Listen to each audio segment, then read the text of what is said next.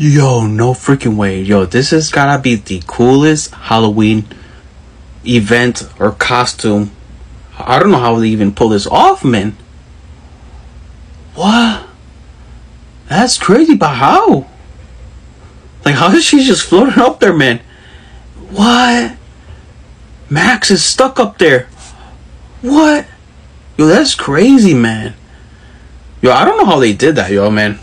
Yo, props whoever did that, man. That's really cool. That's awesome. Wow.